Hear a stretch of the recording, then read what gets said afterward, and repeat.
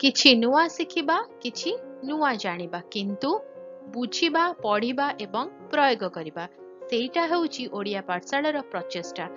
ଆପଣମାନଙ୍କୁ ସମସ୍ତଙ୍କୁ ସ୍ୱାଗତ। ଓଡ଼ିଆ ପାଠଶାଳାକୁ ଚାଲନ୍ତୁ। ଆଗକୁ ଆସୁଛି ଜଣେ ମହାନ ନେତାଙ୍କର ଜନ୍ମ ଦିବସ ସେ ହେଉଛନ୍ତି ଲାଲ ବାହାଦୁର ଶାସ୍ତ୍ରୀ। ତାଙ୍କ ସଫଳତା ତାଙ୍କର ଯୋଗଦାନ ସବୁ ଜିନିଷକୁ ନେଇକି ରଚନାଟିଏ ପ୍ରସ୍ତୁତ କରାହେଇଛି। ଯିବା ତାପରେ ଦୃଷ୍ଟି ପକେଇବା। ଉପକ୍ରମ।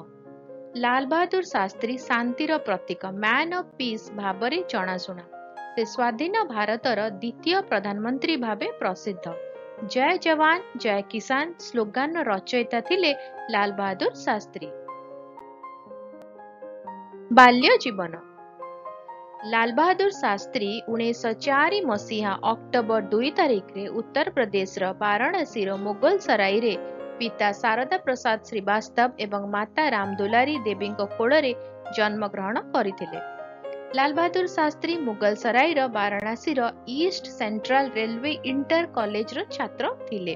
ଉଣେଇଶହ ଛବିଶ ମସିହାରେ ସେ କାଶୀ ବିଦ୍ୟାପୀଠରୁ ସ୍ନାତକ ହାସଲ କରିଥିଲେ ସ୍ନାତକୋତ୍ତର ଡିଗ୍ରୀ ପୁରସ୍କାର ସମାରୋହରେ ତାଙ୍କୁ ଶାସ୍ତ୍ରୀ ଆଖ୍ୟା ଦ୍ୱାରା ସମ୍ମାନିତ କରାଗଲା ଯାହାର ଇଂରାଜୀ ଅନୁବାଦ ହେଉଛି ସ୍କଲାର କୌଣସି ପ୍ରକାରେ ଏହି ଡିଗ୍ରୀ ତାଙ୍କ ନାମର ଏକ ଅଂଶ ଭାବରେ ବ୍ୟବହୃତ ହେବାକୁ ଲାଗିଲା।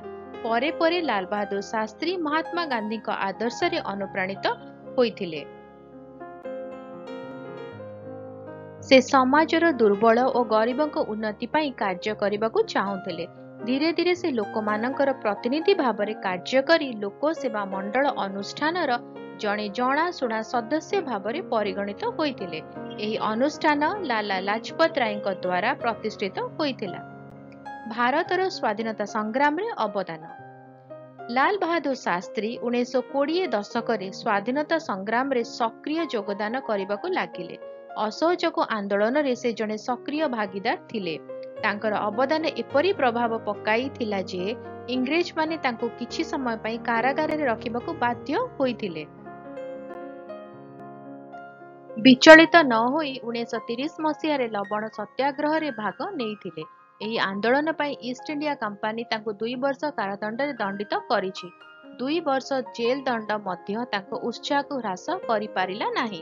ଉଣେଇଶହ ସଇଁତିରିଶ ମସିହାରେ ସେ ୟୁପି ସଂସଦୀୟ ବୋର୍ଡରେ ସଂଗଠିତ ସଚିବ ଭାବରେ ଯୋଗ ଦେଇଥିଲେ।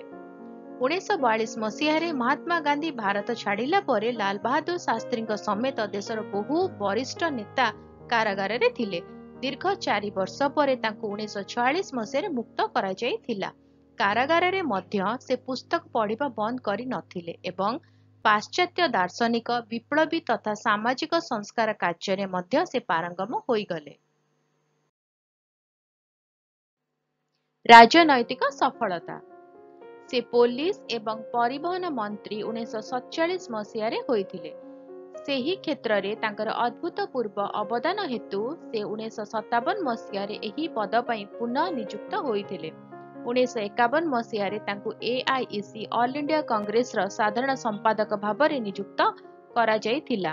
ଉଣେଇଶହ ବାବନ ମସିହାରେ ସେ ୟୁପିର ରାଜ୍ୟସଭା ପ୍ରତିନିଧି ଭାବରେ ନିର୍ବାଚିତ ହୋଇଥିଲେ। ଉଣେଇଶହ ପଞ୍ଚାବନ ମସିହାରେ ସେ ରେଳମନ୍ତ୍ରୀ ଭାବରେ ନିଯୁକ୍ତ ହୋଇଥିଲେ। ତାଙ୍କ କାର୍ଯ୍ୟକାଳ ମଧ୍ୟରେ ସେ ଭାରତୀୟ ରେଳ ବ୍ୟବସ୍ଥାରେ ବୈପ୍ଳବିକ ପରିବର୍ତ୍ତନ ଆଣିଥିଲେ। ଉଣେଇଶହ ଏକଷଠି ମସିହାରେ ସେ ଗୃହମନ୍ତ୍ରୀ ଭାବରେ ନିଯୁକ୍ତ ହୋଇଥିଲେ। ସେଠାରେ ସେ ଦୁର୍ନୀତିକୁ ରୋକିବା ପାଇଁ ଉଲ୍ଲେଖନୀୟ ପରିବର୍ତ୍ତନ କରିଥିଲେ। ଉଣେଇଶହ ଚଉଷଠି ମସିହାରେ ଜୁନ୍ ନଅ ତାରିଖରେ ସେ ଭାରତର ପ୍ରଧାନମନ୍ତ୍ରୀ ଭାବରେ ନିଯୁକ୍ତ ହୋଇଥିଲେ। ଉଣେଇଶହ ଛଅଷଠି ମସିହାରେ ସେ ଭାରତ ରତ୍ନରେ ସମ୍ମାନିତ ହୋଇଥିଲେ। ଶେଷରେ ଲାଲ ବାହାଦୁର ଶାସ୍ତ୍ରୀ ଉଣେଇଶହ ଛଅଷଠି ମସିହାରେ ଜାନୁଆରୀ ଏଗାର ତାରିଖରେ ଶେଷ ନିଶ୍ୱାସ ତ୍ୟାଗ କରିଥିଲେ। ଉପସଂହାର। ଲାଲ ବାହାଦୁର ଶାସ୍ତ୍ରୀ ତାଙ୍କର ସରଳତା ଦେଶପ୍ରେମ ଏବଂ ସଚ୍ଚୋଟତା ପାଇଁ ଜଣାଶୁଣା। ସେ କହୁଥିଲେ ଏକ ଶକ୍ତିଶାଳୀ ରାଷ୍ଟ୍ର ଗଠନ ପାଇଁ ସର୍ବଦା ଆତ୍ମନିର୍ଭରଶୀଳ ରହିବା ଉଚିତ ଏବଂ ସେ ନିଜେ ଆତ୍ମନିର୍ଭରଶୀଳ ଥିଲେ। ଭାରତ ଜଣେ ମହାନ ନେତାଙ୍କୁ ହରାଇଛି। ଜୟ ହିନ୍ଦ। ରଚନାଟି କିପରି ଲାଗିଲା ମୋତେ କମେଣ୍ଟ କରିକି ଜଣାଇବ। ଯଦି ଭଲ ଲାଗିଲା ଟିକେ ଲାଇକ୍ କରିଦେବ। ଅନ୍ୟମାନଙ୍କ ସହିତ ସେୟାର କର। ଚ୍ୟାନେଲକୁ ସବସ୍କ୍ରାଇବ କରି ବେଲ୍ ଆଇକନକୁ ପ୍ରେସ୍ କରି ଅଲ୍ ନୋଟିଫିକେସନକୁ ଅନ୍ ରଖିଥାଅ ଦେଖା ହେବ ଆଗାମୀ ଭିଡ଼ିଓରେ ଭଲରେ ରୁହ ସୁସ୍ଥରେ ରୁହ। ମୋତେ ଅନୁମତି ଦିଅ। ବାଏ